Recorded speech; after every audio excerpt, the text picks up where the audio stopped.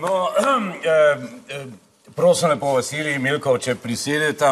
Želel sem kar, izvolite tukaj, eh, namreč eh, eh, mojemu prijatelju Igorju pokazati, da obstaja na svetu eh, tudi žlahtna muzika, uh -huh. klasična glasba, ja. ki se jo izvaja z goslimi oziroma z godali, z violino, uh -huh. tako, ob pomoči seveda klavirja.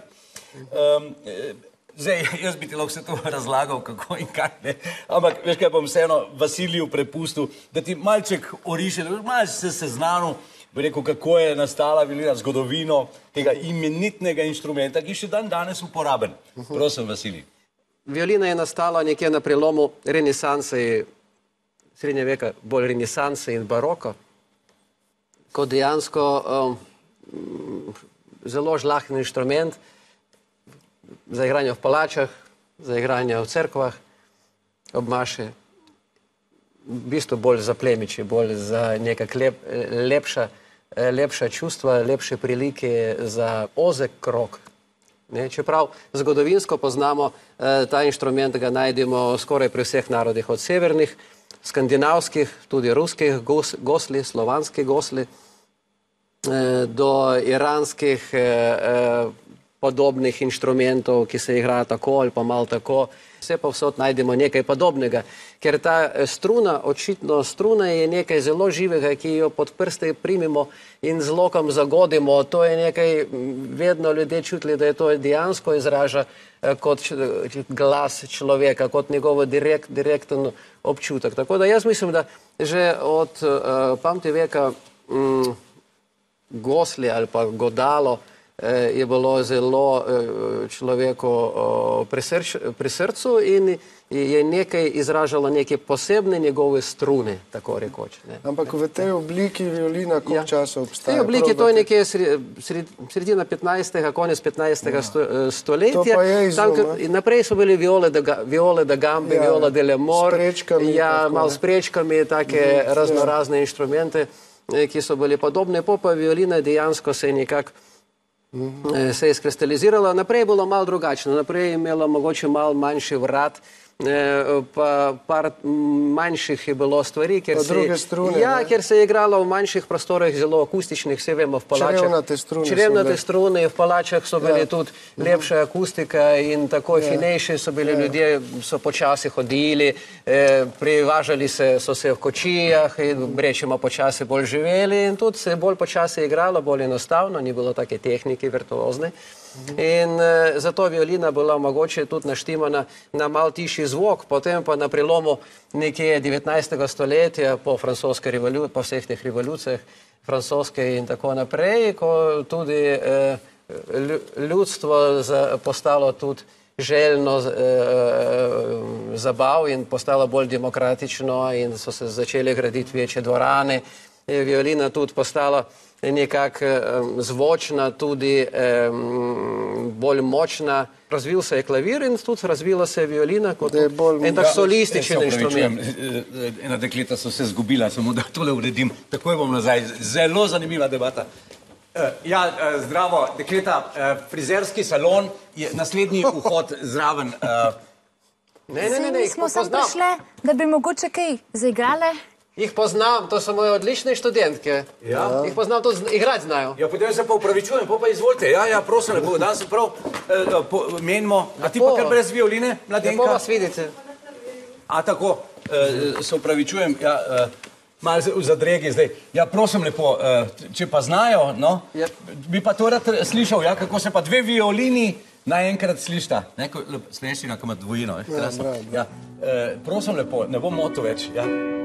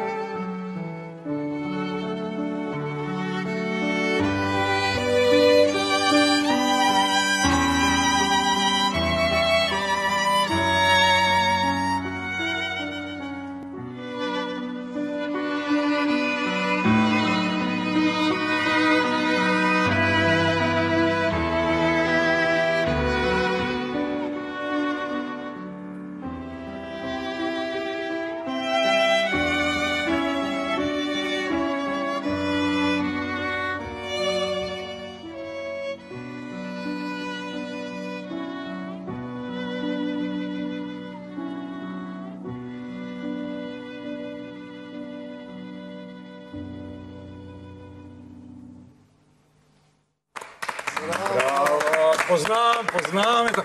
To je Mozart, uh, Kugel, eine, keine Nachtmusik. Ja, Ja.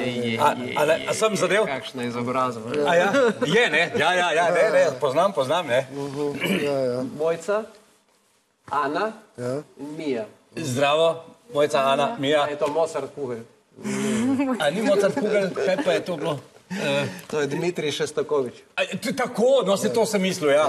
Dmitrij, Dmitrij Šestakovič, eh, čeprav je skladatelj 20. stoletja in je velik simfonist, ampak je znal tako lepo, tako nežno napisati tudi za violino. Melodija, lepa. Simfonist, eh, to- to- či- kaj bi to pomenilo? Da, da, tako Da je glavno pisal simfonije. ne. A, no, no, no, no, no, to, to, to so bo- bo- z- Večje, prav velike, ja, ja, ja, ja.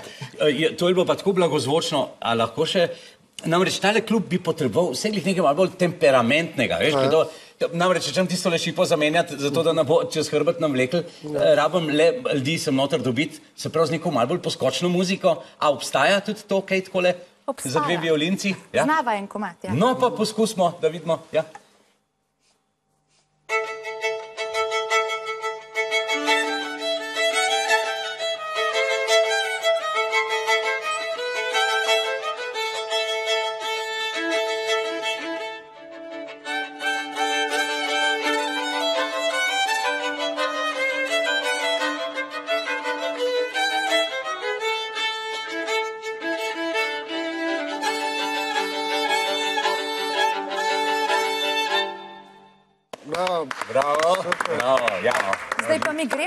Joj, ne, a ne boste ve. Ne bomo več, sem hotela pa vprašati, kje je un frizer, ki ste ga prej omenil. Je, ja, e, ste tam prva, druga vrata, zraven desni, ja, to mi je pa zelo žal. No. Hvala E, za- Najlepša hvala, dekleta, srečno. Ja, ka- a smo kaj, a sem kaj narobe rekel? ali kaj sem kaj Imajo narobe? verjetno Srečno, kaj? Še kak špil, ki je. Ja, a misliš, da je v drugem klubu, pri frizerju zdaj igrale. Ja. E, Na, ne, to, jaz bi v življenju, veš kaj, enkrat rad spoznal pa kakšnega človeka, ki piše muziko za, za violino in, in za orkestre in tako naprej. To je, Po mojem to je- tle na tvoji levi. Tukaj me imaš. Milko, to pa se kako, pa veš koliko let te poznam, pa neč, a to ti pol na skrivaj ali kako? Na pol na Na skrivaj. pol na skrivaj. Kako, mislim, se lotiti, a to, ne, to me, Ne, no, ali to veš, je- kaj violina je le, ne? To je mm, violina in sploh godala so zame vsaj mm, najbolj enigmatični inštrumenti. Pravzaprav zavidam skladateljem, Bi rekel tudi oganka, ne? Uganka, ja, ja to, je, uganka. to je čista skrivnost. Ja. In pravzaprav zavidam skladateljem, ki, ki znajo violino igrati. Ne? In sicer m, kar nekaj muzike sem napisal za violino in ostala godala, ampak sem prišel do točke, ko ne morem več pisati, brez da se ne seznanim z inštrumentom pobližje. Torej sem si nabavil violino in violončelo in pridno vadim, sem v prvem letniku. Bravo, Vadim lestvice, učim se prijemov, ker edino tako lahko uh, prodrem globlje v smislu komponiranja za godala. Jaz sem nekaj, se- bom pripomnil, prosti. Ne? Uh, jaz sem imel tri leta, ko sem očetu rekel, da se bom violino začel učiti, je rekel, lahko, če se odseliš od doma. Ja. A veš, da, kako je situacija doma, zdaj, ko to le treniraš, bolj na, Skre- na skrito pa na Skreči samo? na skrito imam en prostor, ne, ker ne, tu potem pride Vasilij ne, in me poduči o tem in onem. Da, Ne. kakšno nalogo, ne, kakšno Kakšno skalo nalogo, ne, ne, zvežbati. zdaj smo že pri enih hitrih tempih in naslednji teden mu moram zaigrati lestvico v, rapidno hitrem tempu. Tri, tri lestvice, ja. Tri lestvice in imam že zdaj tremo, ne, kako bom to zaigral ne, O, pred profesorjem. No, ampak s tem pa dobivaš pa neko izkušnjo, ne, če prav razumem, ki pa je nujna za... Neprecenljivo, ne, ker se odpirajo novi svetovi. Praktično je violina je tako kot šah. A ja. Ne, vsaj za me. Ne, moraš imeti šahovnico figure, ne, iz glave igrati šah je zelo težko. Ne, to znajo samo geniji. Vasilij, še tebe vprašam. Literatura, ki je pisana za violino, recimo top, top pet, eh, to so popularne te lestvice, eh, zate, kaj se tebi zdi, da je pa res? Verjetno tudi gre po obdobjih in iz baroka, iz baroka vere, eh, sigurno je to Johann Sebastian Bach, ki je odlično pisal za violino in sam odlično znal igrati violino. In seveda je to uh, Wolfgang Amadeus Mozart, ki je bil tudi odličen violinist, in Nikola Paganini, velik italijanski virtuos, ki je nekako začrtal uh, igranje violine še naprej uh, za par stoletij. Ne? in v 20. stoletju Igor Stravinski, Ižen Izai, Fritz Chrysler, ker več. In Milko Lazar. In Milko Lazar. Ja, tako. No, Ja, in zdaj bi bilo ja, pa čas, še mogoče, da kaj slišimo. Ja, ne, ne, ne, ne, seveda, ne, se to so vsi še živi. Veš, Dober skladatelj je pokojni skladatelj. Jaz vaju pol vabim v pododrje, ker smo se danes takole organizirali in uh, bi res prisluhnil. jaz Kako še, se bo ta klub zdaj imenoval? eh, pri čarobni- pri, pri čarobni violini, ja. Vasili in Milko. Naprej, naprej zaigramo tvojo Sicilijano. Sicilijanov. Odlično. Ti si jo tako poimenoval. Ne? Ja, to je neuradno ime. Tako, ne? izdaja skrivnosti, ne? In, interne skrivnosti. No, se to ne bo noben zvedel, veš, to tle Ja, v ja, klubu ja, ja, ostane. to ostane tukaj, saj vem. Če pa bo enkrat Zaupam. tukaj občinstvo in verjamem, da bo, ker bomo tako Ti muziko vrteli, potem bomo pa tudi njim zaupali, ko se vidva odločita. Do takrat je pa Prosim, to naša, naša skrivnost. skrivnost. Zdaj pa, uh, fante, da se ne bomo preveč zaklepetali, ne, ja. tako kot uh, on, ki se je z gospodom Župnikom preveč zaklepetal, vaju vabim, da greste tlele Ja, v pododarje in, in uh, prisluhnemo uh, Milku Lazarju in med nami Sicilijana. Ja?